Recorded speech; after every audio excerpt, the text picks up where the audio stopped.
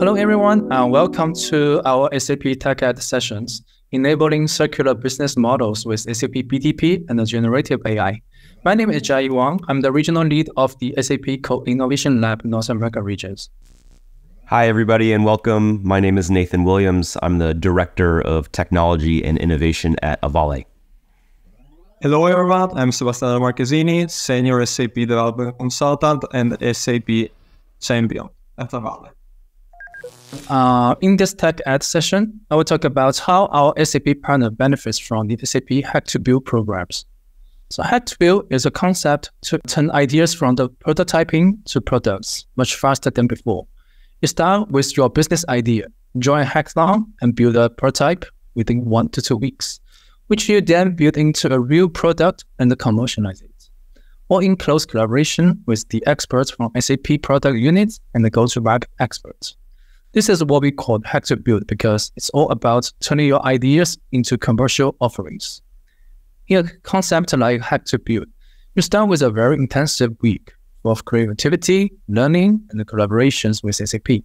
But afterwards, you can largely run by yourself with only lightweight support. Most importantly, time to market is much shorter. The outcome of hack to build can be varied. It can be a customer solution a package of software bundled with services, or a scalable full-fledged product. Most of our hack-to-build use cases are finally published in the SAP Store, QPPS, and the VPAP programs. Please explore our hack-to-build event page. You may find more opportunities, such as in SAP AI, Gen AI, SAP Build, Analytics Cloud, and the data spheres, etc. Here you can find some hack-to-build showcases from the winner teams. SAP co-presented with TCS hack-to-build winners in the SAP TechEd conference in 2022 to talk about how they extend the SAP SuccessFactors solutions without codings. Capgemini's automotive parts recycling visibilities use case is also live in the VPAP program. Hack-to-build first run-up Riscom published track well in the SAP store. This also will be a showcase in the SAP TechEd 2023. Hack to build the first run-up TEK published the auto incentives and the finance planning application in the SAP Store this year. You may open the link to explore more details. In February 2023, a hackathon event seen on build and, and extends process using SAP Build on the SAP BTP platform took place in North America region. Using local no-code apps to build the prototypes powered by the SAP Build Apps development environment, our SAP partner had the opportunity to show great applications built in only a few days, making the innovative solution tangible. This event received more than 20 use cases submitted by the SAP partner teams. After carefully reviewing the use case, we approved the 13 use cases, which were finally presented in the demo jam. Avvale created the winning solution called Reclaim. Reclaim is a circular e-commerce solution that provides company in innovative digital models that leverage SAP Build, SAP AI, Gen AI, and S4HANA to address linear economy challenges. In the next slide, you will hear more details about this hack to build winner use case from Nathan and Sebastiano. So thanks so much for that introduction, Jiayi. And as someone who has competed in multiple hack to builds in the last few years with Sebastiano and others from Avvale, I'd highly encourage you, um, if you're a partner, to to consider participating. Uh, regardless of the outcome, winner or runner up, I, I truly believe that you'll find the experience to be challenging, rewarding, and, and energizing. And from a, a customer or an ecosystem perspective, I can't recommend enough to check out the links that Jiayi shared to learn all about the innovative and exciting use cases that emerged from the hack to builds over the last couple years. So today we'll be discussing Avvale's approach to enabling circular business models um, using SAP BTP combined with S4 and generative AI, specifically as it relates to Reclaim, the hack to build solution that we recently won with. So we've already introduced ourselves, but once again, I'm Nathan. I'll be joined today by my colleague Sebastiano to present our solution on Reclaim. So I want to first start by talking about the business value proposition because this is really, as Jiayi mentioned, the start of the hack to build process. And this is something that we are able to do with BTP is even with our customers, uh, in addition to hack to build use cases, is we start with a business problem or a, or a challenge or an opportunity. And then we can take that use case or that business challenge or opportunity and then solution it using one of BTP's many services. And this is the this is the power of, of BTP. We can solve business problems. So I want to talk about that problem that we, we, we are solving with Reclaim, and then we'll talk about how that our solution addresses that problem. So this is a picture of in the background here of the uh, Atacama Desert in in Chile, uh, just a just a few months ago. So this once majestical landscape has been transformed by about 60 tons of, of clothes that now form mountains on top of what would otherwise be a very uh, beautiful desert landscape. And this image in particular was shared at the UN Climate Change Conference, and it delivered a very simple but alarming and, and jarring message about the clothing industry. Uh, the simple message was that we're making more and we're wearing less. So the, the current method in which clothing is produced and sold is just not sustainable because it's it's linear. Consumers and industries they're producing too much and don't know what to do with these clothings once clothing pieces once they've reached end of life. And that is really a product of what I mentioned as the linear economy, and we'll define what that means, and uh, a product of, of fast consumption. So these linear business models have been designed around this take, make, and, and waste approach because historically, that was the most effective way for companies to to prosper. Um, but today, circularity and sustainability it's just not it's not just a boardroom topic anymore. It is it is required for companies to to now remain competitive and profitable. Yet there's a lot of uncertainty around how we tackle this important problem. So I've got a powerful question on the slide here, and it's a complicated question, but it's, and I'll read it out. How can companies increase their prosperity while reducing their dependence on, on materials and energy? And really, significant growth typically requires or is or is required in the past an influx of of material and energy as opposed to a reduction in them.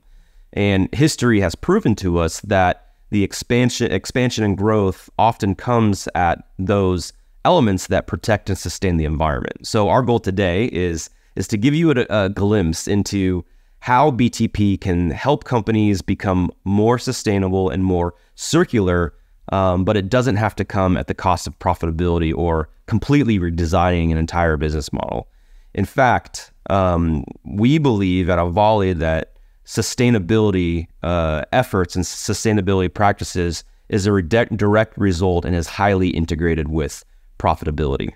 And so we're using the fashion industry today as the basis for our use claim. Um, that is one example. We built Reclaim with the idea that we can scale this platform, scale this app to be circular for, yes, the fashion industry, but other industries as well consumer products, goods, manufacturing, food, so on and so forth. So here you have on the left this linear approach.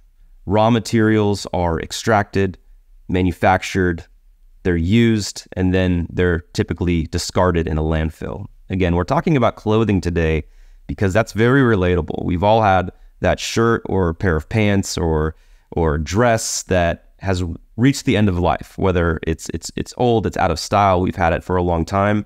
And what do we typically do with that? Yes, sometimes it's a donation, but oftentimes at the very end of that product's life, it ends up in a landfill. So with Reclaim, what we have done is, and I'll kind of walk you through around this circular, uh, diagram here is once that product reach reaches end of life. Let's take a T-shirt for example. The consumer or the uh, the user of that product can simply take a picture of that product on their on their mo- mobile device. We have got SAP AI services that can classify and de- determine that specific article of clothing. Is it a shirt? Is it a blouse? Is it a hat? Is there blemishes in it? Are there holes in it? Um, is it a counterfeit product? Uh, for example, if if we're taking a picture and we're of, of uh, Levi's, it will return that it is an authentic pair of Levi's jeans. Once that article has been analyzed by AI, the application then tells the consumer the value of the clothing in reward points. So on the back end, we've we'll be able to partner with different organizations to explore new business models, and I'll talk about loyalty points uh, in, a, in a little while. So, for example, in the case of a clothing company, if they use this app, they can essentially uh, assign different amounts of points to different clothing that they would like to have back in their stock. So once those points are identified, the consumer can trade in the the clothing and they're directed towards the nearest drop-off point. It could be the clothing outlet themselves, it could be a UPS store, but we've got Google Maps integrated with Reclaim to look for the nearest drop-off specific to the organization that we're deploying this app for. Uh, we've got some automation by way of uh, SAP Build process automation that will inform the warehouse of the incoming clo- clothing items and have a write directly back to SAP S4 to uh, to to have some dashboards and notifications in. The business strategy and analytics team reviews the real time insights into all of those activities, and at the end of the day, the consumer redeems loyalty points towards a new, could be second hand purchase. Therefore, instead of putting the, the clothing into the landfill or throwing away, it is recirculated back into the economy. That is one very simple and straightforward example of how a linear business model can quickly become circular by enabling some of these technologies. So, just to kind of sum that up, the value proposition is secondhand products. Again, we're talking about clothing as the example, but talk about, think about car products, even talk about maybe food or other different consumer goods. This can become a new business model. We shared an example of, of something that is the secondhand market, but there's rental opportunities. There's the opportunity to put these on a digital twin. There's repair opportunities. And companies with this type of application, they're able to have a lot more insights into what the demand is, what customers are turning um, back in, what the what the trends are um, targeted sales and incentives to reduce inventory. So, in fact, this is more of a proactive way to um, target inventory and manufacturing in a way that is, um, is, is limited as opposed to producing too much and having this go into uh, landfills or discarded. And then also enhancing brand loyalty. There's been a lot of studies that show that um, younger generations are going to align more with companies that embrace and are implementing sustainable models that um, uh, align with their uh, with with their needs and um, what they want with sustainability. So there's a lot of value around around this application. And I've got a quote from Gartner here it says applying the circular economy could unlock trillions of dollars in the global economy, create hundreds of thousands of jobs and leads to millions of tons of avoided uh, uh emissions. So we at Avvale believe that this the circular economy will be going mainstream. It, uh, it, it already is is moving that way. So we feel like apps such as Reclaim and these business use cases are going to be incredibly valuable and important, uh, especially when powered by important technologies such as generative AI and business technology platform. So we want to go into a little bit of the technical explanation. I've spent a lot of time talking about the use case, about circularity, about the important challenge. Um, but how we're solving this is with SAP Build Solutions and and so much more. So here are all the, the components that we used in our hack to build solution and what Reclaim is is is composed of.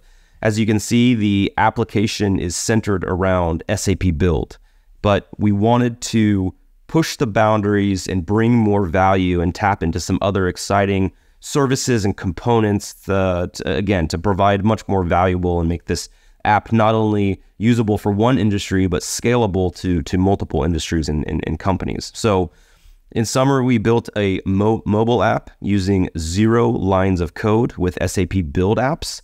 This is for that end user or consumer to interact with, scan the clothes with, confirm their loyalty points, find the nearest drop off location.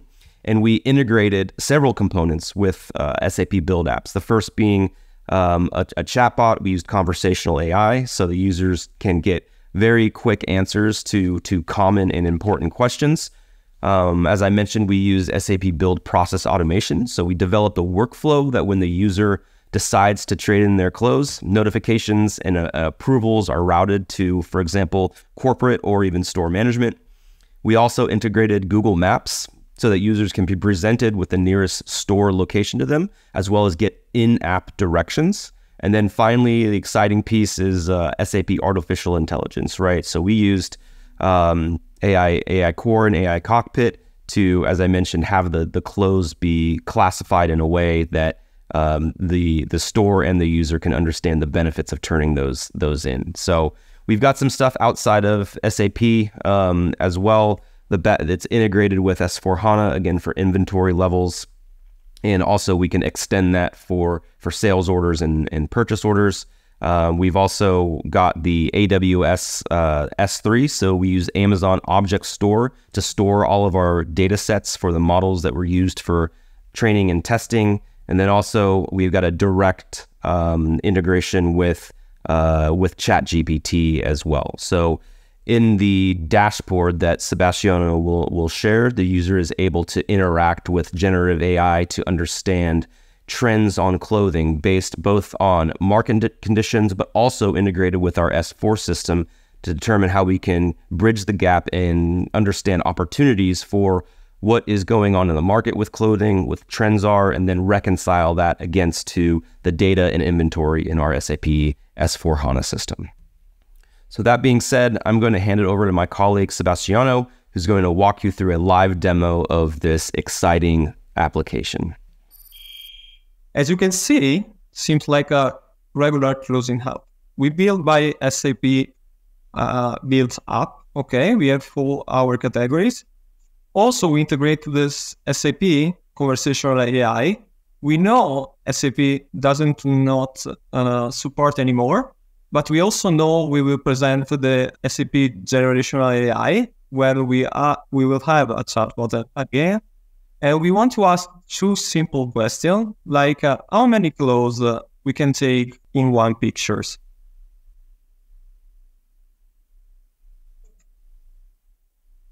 the chatbot answer us, we can take one piece for each pictures. And also the um, integration the, with the Google API show us uh, where is the drop-off location near us. Okay. With all that information, we can have the direction to the location near us. And we are ready to trade in our clothes. With the current functionality and uh, with integration with the SAP Core AI, a machine learning algorithm behind match uh, the type of the clothes, the category, with the 95% of accuracy. Here we have a shirt, and also I have a cap I'm not using anymore. In real, I still use it. I only a demo. And uh, with the the total items and the total points we have, uh, the Google API show us uh, again, and we choose the store near us where we want to trade in our clothes. With the trading button, we can see the result of the number of points and also the total points uh, we will get when we trade in. And here we are, faster than we throw away our clothes. Let's move now to SAP WorkZone Advanced Edition. Here, uh, our KPI show us the data from SAP S4HANA Cloud. We have the last uh, seven days, okay, the past seven days, the sustainability scorecard with all different categories, the trading location, and uh, as Nita mentioned before, the highlights powered by ChatGPT, where more user-friendly information uh, will show to the user with get from the our KPI and get from our data S4, SAP S4. We also integrate when we press the trading button uh, the SAP process automation. Okay, the administrator of the shop can see uh, where the instance of the trade-in, and then can approve or reject by see the shopping location and also the number of clothes in the instance. Thanks so much, Sebastiano, for that live demo of the application. Um, just a couple quick takeaways. And again, it's summarizing some of the points um, that we mentioned earlier for um, the importance and, and, the value of, of, of this app. Um, number one, uh, definitely around sustainability. We've, we've learned um, a lot recently um, with generative AI and AI in general that it can accelerate very swiftly the way to have a more sustainable future, um, generating value not just across the, the fashion industry and the clothing industry that we described today, but multiple other industries as well. Um, another key piece is the customer loyalty aspect. Consumers are expecting that the brands that they closely align with are going to have sustainability efforts and sustainability built into their business models. This is a whole new, different uh, generation, generational aspect that we need to take into advantage. And there's a lot of studies uh, take into consideration. Excuse me. And there's a lot of uh, a lot of studies that have shown that um, this is going to be a very important aspect to um, new business models. Um, and finally, the the most important one of the most important aspects is is is the concept of new business models, right? Digitizing products um, is going to impose circular business models. Um, we talked about um, reuse today, but there's so many more models that we can expand upon from rentals to repair to tracking products usage usage on a digital twin. So these are three reasons why BTP, GenAI, and the circular economy can present a ton of opportunity for your business. And one more slide just to close out. Um, as Jiayi mentioned in the beginning of the presentation, um, the result of, uh, of the hackathon, or really that, that carrot at the end of the stick, that gold pot at the end of the rainbow, is the ability to um, have SAP partner with Avvale to take this application to market, to be available as a QPPS, as a VPUC. So this is really at a very high level our go to market strategy. Um, the market segment that we see for this app, whether it's fashion or otherwise, is mid market, lower large enterprise, as well as large enterprise. The industry focus, we've already talked about the industries that this can um, benefit. The target customers are mainly closely uh, are closely aligned with how Avvale is positioned throughout the United States. We envision taking this live um, in North America first and having more of a dominant footprint in North America, followed by our uh, our, our customers and prospects in both Europe and Latin America. Um, you can see our mode of reach to target customer. We'll be working with SAP. We'll be working with Jiayi's team to help drive a marketing campaign, a sales campaign. We'll be working with our SAP account executive uh, counterparts to target not only new new customers, our existing pro- customers, leveraging other aspects at SAP like the COE. Um, from a timing perspective, we are planning to have this in the SAP store in early Q4. That is a conservative effort. We hope to have that um, even even earlier. Um, that will be with T-shirt size pricing for both the mobile app as well as the the dashboards that uh, that Sebastiano shared, as well as the integration with with S4, integration with Gen AI, and then also we'll be, as I mentioned, partnering with with sales to to to target key accounts, um, accounts that would benefit highly from this. So thank you again to Jiayi. Thank you to the Co Innovation Lab for for your support, and we look forward to our next uh, Hack to Build competition.